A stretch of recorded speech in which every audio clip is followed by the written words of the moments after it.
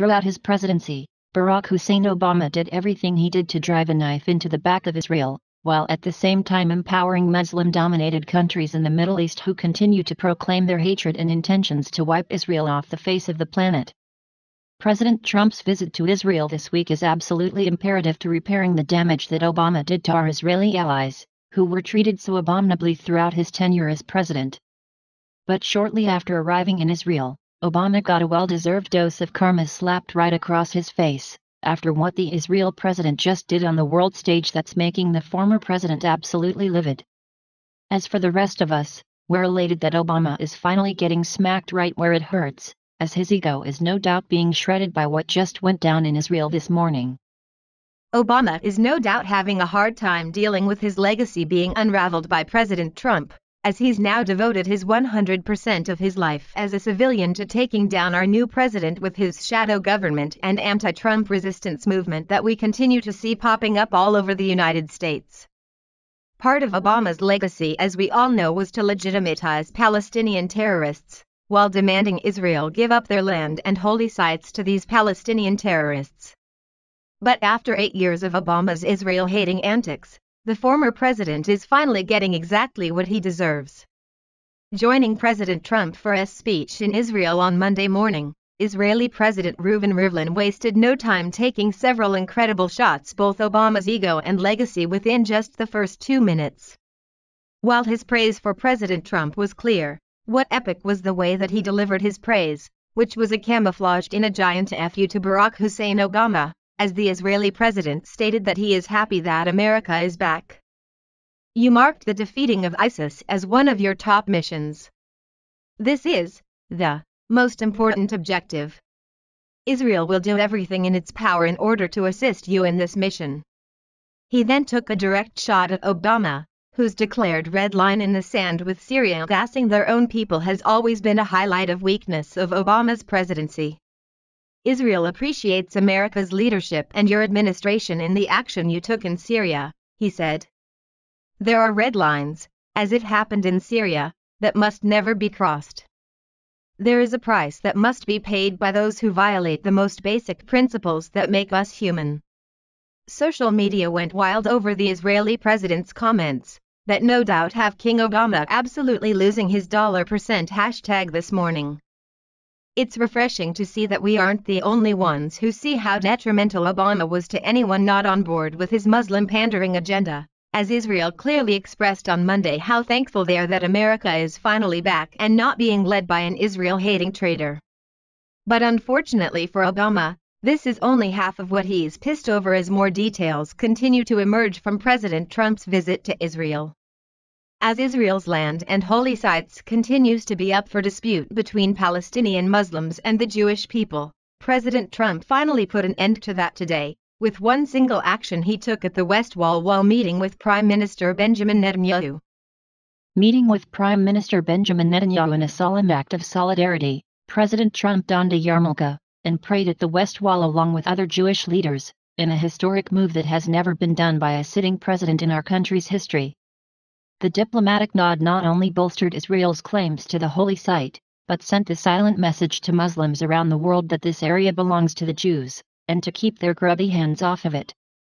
It's so awesome to finally have a president leading America who has the backs of the Israeli people, who have suffered so much at the hands of not only Palestinian terrorists who continue to demand their land, but at the hands of our former president who did everything in his power to strip away their rights to their land by backing the Security Council resolution that turned over the old city to Palestinian groups. Now Obama can stick his treason and disdain for the people of Israel straight up where the sun doesn't shine, as just like the Israeli president so eloquently put it with saying, America is back. Please do not forget to subscribe and like and comment because we want to hear your voice and thank you for watching. Throughout his presidency, Barack Hussein Obama did everything he did to drive a knife into the back of Israel, while at the same time empowering Muslim-dominated countries in the Middle East who continue to proclaim their hatred and intentions to wipe Israel off the face of the planet. President Trump's visit to Israel this week is absolutely imperative to repairing the damage that Obama did to our Israeli allies, who were treated so abominably throughout his tenure as president. But shortly after arriving in Israel, Obama got a well-deserved dose of karma slapped right across his face, after what the Israel president just did on the world stage that's making the former president absolutely livid.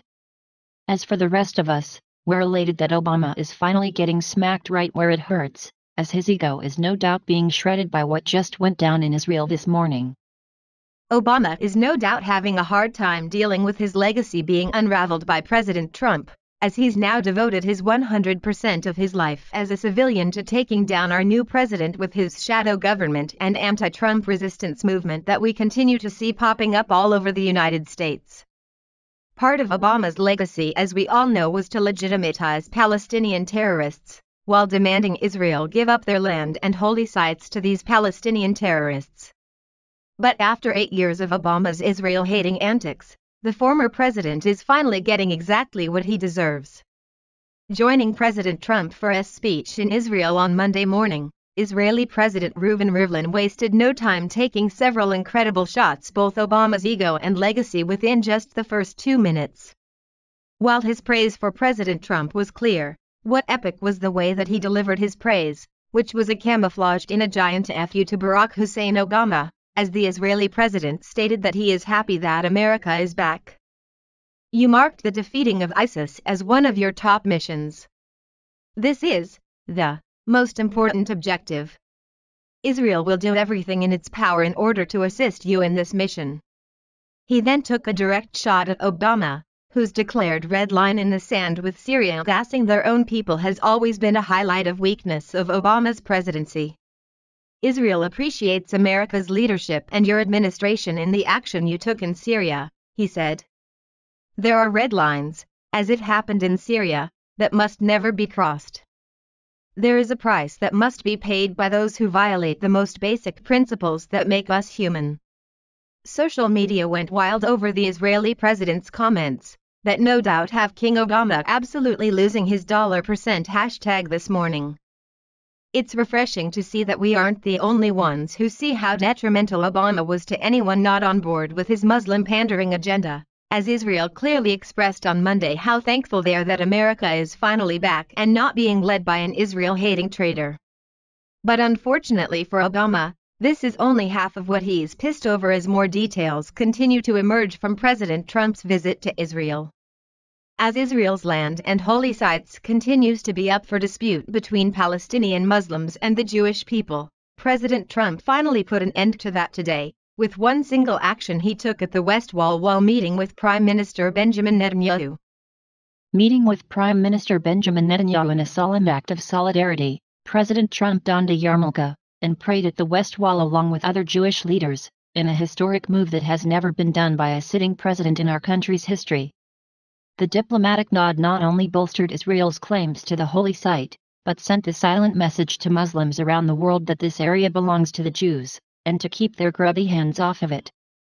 It's so awesome to finally have a president leading America who has the backs of the Israeli people, who have suffered so much at the hands of not only Palestinian terrorists who continue to demand their land, but at the hands of our former president who did everything in his power to strip away their rights to their land by backing the Security Council resolution that turned over the old city to Palestinian groups. Now Obama can stick his treason and disdain for the people of Israel straight up where the sun doesn't shine, as just like the Israeli president so eloquently put it with saying, America is back. Please do not forget to subscribe and like and comment because we want to hear your voice and thank you for watching. Throughout his presidency, Barack Hussein Obama did everything he did to drive a knife into the back of Israel, while at the same time empowering Muslim-dominated countries in the Middle East who continue to proclaim their hatred and intentions to wipe Israel off the face of the planet. President Trump's visit to Israel this week is absolutely imperative to repairing the damage that Obama did to our Israeli allies, who were treated so abominably throughout his tenure as president.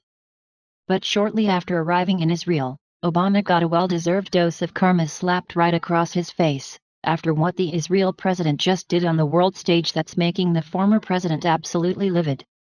As for the rest of us, we're elated that Obama is finally getting smacked right where it hurts, as his ego is no doubt being shredded by what just went down in Israel this morning. Obama is no doubt having a hard time dealing with his legacy being unraveled by President Trump, as he's now devoted his 100% of his life as a civilian to taking down our new president with his shadow government and anti-Trump resistance movement that we continue to see popping up all over the United States. Part of Obama's legacy, as we all know, was to legitimize Palestinian terrorists, while demanding Israel give up their land and holy sites to these Palestinian terrorists. But after eight years of Obama's Israel hating antics, the former president is finally getting exactly what he deserves. Joining President Trump for a speech in Israel on Monday morning, Israeli President Reuven Rivlin wasted no time taking several incredible shots both Obama's ego and legacy within just the first two minutes. While his praise for President Trump was clear, what epic was the way that he delivered his praise, which was a camouflaged in a giant FU to Barack Hussein Obama, as the Israeli president stated that he is happy that America is back. You marked the defeating of ISIS as one of your top missions. This is the most important objective. Israel will do everything in its power in order to assist you in this mission. He then took a direct shot at Obama, whose declared red line in the sand with Syria gassing their own people has always been a highlight of weakness of Obama's presidency. Israel appreciates America's leadership and your administration in the action you took in Syria, he said. There are red lines, as it happened in Syria, that must never be crossed. There is a price that must be paid by those who violate the most basic principles that make us human.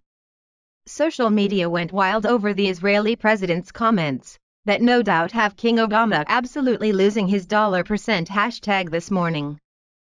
It's refreshing to see that we aren't the only ones who see how detrimental Obama was to anyone not on board with his Muslim pandering agenda, as Israel clearly expressed on Monday how thankful they are that America is finally back and not being led by an Israel-hating traitor.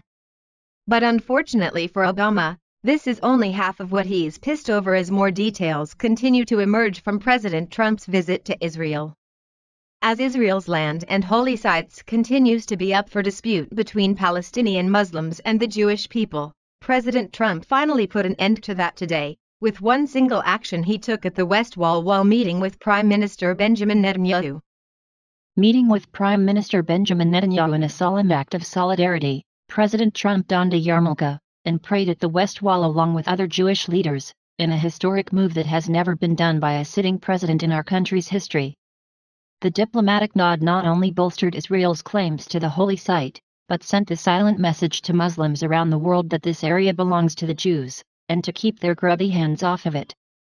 It's so awesome to finally have a president leading America who has the backs of the Israeli people, who have suffered so much at the hands of not only Palestinian terrorists who continue to demand their land, but at the hands of our former president who did everything in his power to strip away their rights to their land by backing the Security Council resolution that turned over the old city to Palestinian groups. Now Obama can stick his treason and disdain for the people of Israel straight up where the sun doesn't shine, as just like the Israeli president so eloquently put it with saying, America is back. Please do not forget to subscribe and like and comment because we want to hear your voice and thank you for watching.